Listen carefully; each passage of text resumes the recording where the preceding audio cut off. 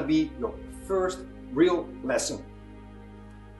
And actually, I'm not gonna talk already about how to play the didgeridoo. I'm first going to make you more aware what it is about and what we need. In this video, we're gonna talk about air, anatomy, and mindset. And why would I do that? Because I am a teacher that practice what he preaches or teaches. I'm not going to tell you any tricks. I want to be honest, and I will be honest, and I will make you understand what you need to know, not the tricks. So, being able to play didgeridoo, we first need to know about our air. 99% of the people use their inhaling and exhaling pattern actually the wrong way. Why?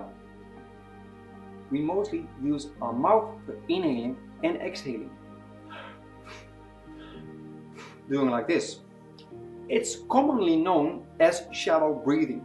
Shallow breathing, it's part of using your chest to move your chest up like that and it creates a fight and flight situation in your system. Fight and flight generates adrenaline and cortisol, that's a hormone which is in yourself. Not gonna dive in too much into it, I will talk that later. And the other part we have, we call rest and digest. And that's why we create the hormones like dopamine and serotonin. If you look at yourself and you look towards the other person you're talking to, you mostly will see that you will mimic each other in that way. And if I, I would continue this video like this, a bit exaggerated, you will say, hey, boss, I'm not gonna watch any further, it makes me dizzy. What I use in my air understanding is that I've learned to use my nose for inhaling and my mouth for exhaling. And understanding that pattern made me aware that actually inhaling it's not the important thing. It's exhaling that's more important.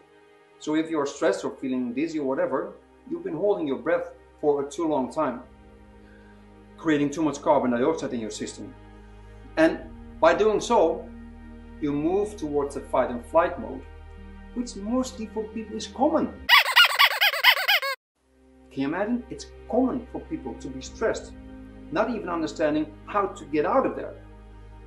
By using your nose and your belly, hmm, belly, you are able to transform that thing directly to rest and digest and directly generate the hormones dopamine and serotonin. So this first short thing is that I'm going to give you one little exercise, just one. And that one little exercise, we're going to connect our nose with our belly. So let everything go. If you're holding your, uh, your iPhone or iPad or whatever to watch this video, make sure that you put it down so you can see me. And first, stand.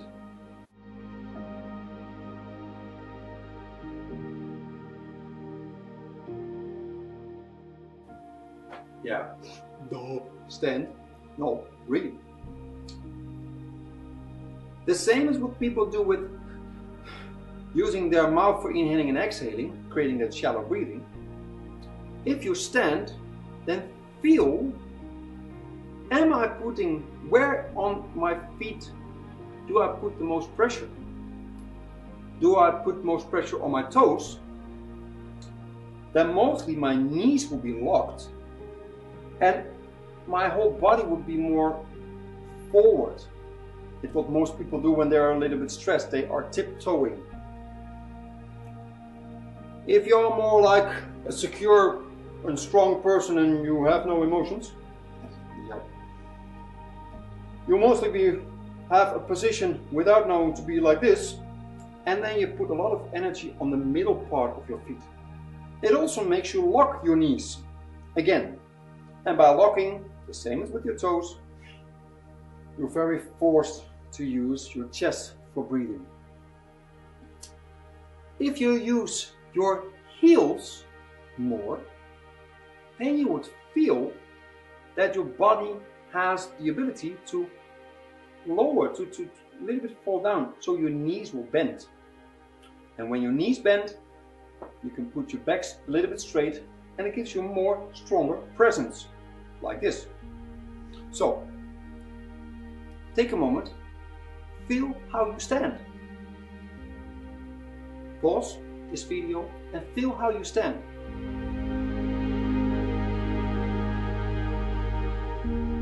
What was the position of your feet that you put on your toes, middle or heels?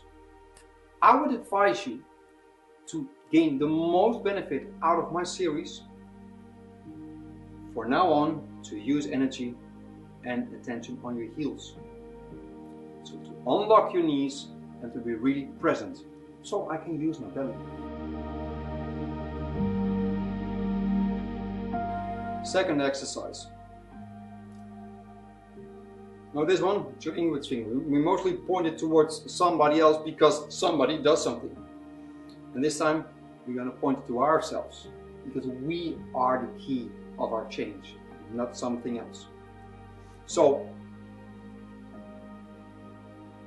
look towards an object in front of you. And if you have that object, can be a flower pot, can be anything. If you have that object, then look beyond the object so you don't get stare or tunnel vision. Tunnel vision. Then energy on your heels so your knees bend and your index finger you put on the tip of your nose. Your other hand you will do on your belly, on your belly button. And hey, we all have one, right? So you cannot say that you don't have one. Now, if we are inhaling, we are gently inhaling air through our nose. And that makes our belly button move forward gently.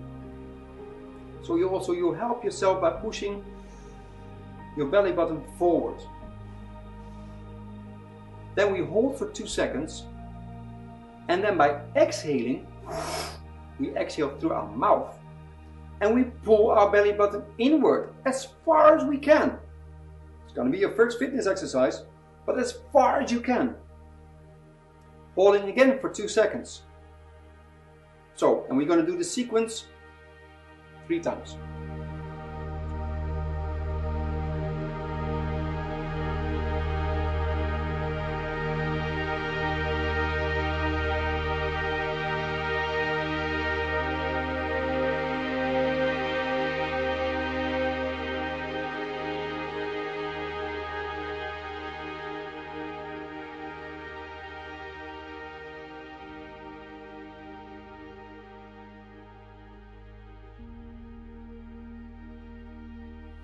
So, are you ready?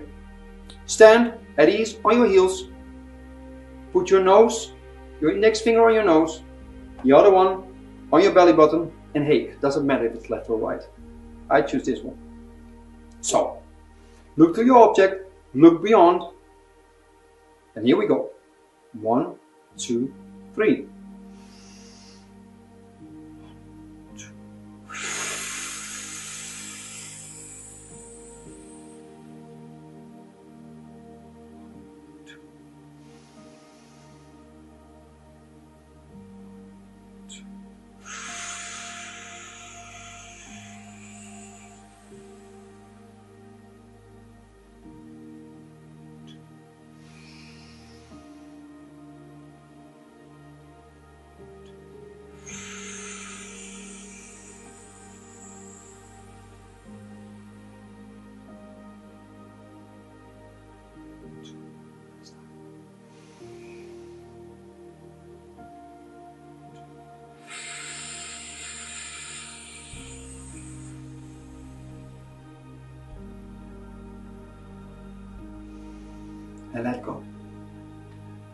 Pause the video again and do this exercise again on your own pace.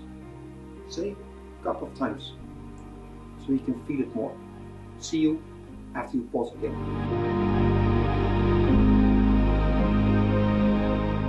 That was the awareness of error. Now, we directly also experience our anatomy. Because without your anatomy, you now feel that you really need muscle contraction to get that whole breathing pattern into place. There's no automaticity here. We have done it. We have become aware. Hey, aware. You're gonna see me use that um, word a lot. Aware.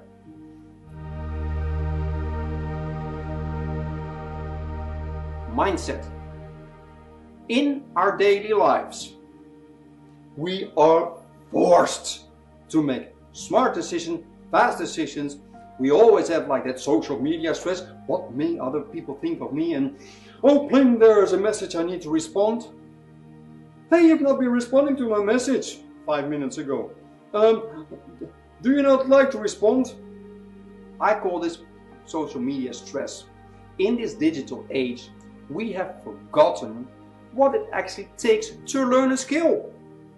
Normally you can push a button or when we're sending an email, like entering the enter button and then it's solved. That's what I call the enter push button mentality. And it's been taking us away from enjoying our learning curve. If we are not succeeding within an hour, then we are not good enough. Stop that. We are human beings and we are wonderful creatures. But we all need time to learn. You think you learn to walk in one day? No. Nobody learns that big skill in one day. It takes time.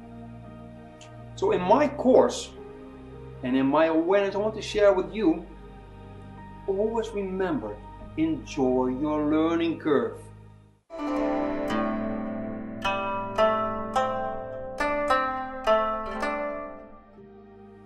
It's an enjoyment to learn a skill, not to go fast. No reason about going fast.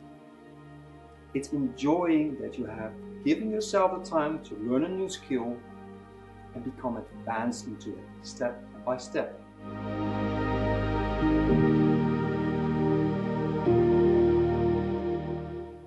For the assignment, write down the skills you want to be able to have and which one you like to achieve. And another subject, write them down for your course. To learn to play the didgeridoo. What are the things you really would like to learn? And send them to me as, my, as your comments. What is the thing you really would like to learn to play the didgeridoo? And also how you would like to implement it in daily life. Google. Google my name, Bastiaan Anthonie Bai, Google didgeridoo, and let me hear what has inspired you to learn more.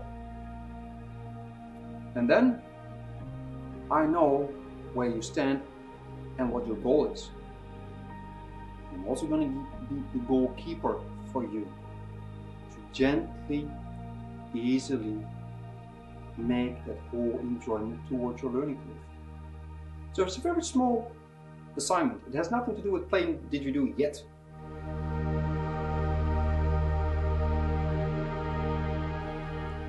Use the air pattern daily. That's one assignment. Understand and feel and write down the muscles you feel you need to create that air pattern. And last in the assignment, write down for yourself and send it to me. What would be your goals to learn in playing the didgeridoo? See you next time, next video, next week. And hey, I'm going to say that in the next videos, I'm going to put in a little bit of an um, little gimmick to send out a prize for the one who gives the most inspiring thing who is the most engaging student towards these courses. Why? Because I want to engage with you. see how enthusiastic I can make you or how you can enthusiast other people as well.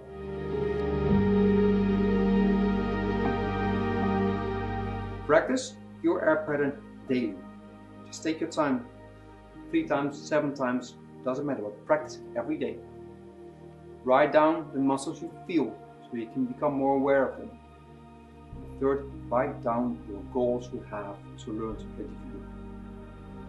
Enjoy life. See you soon. Bye bye.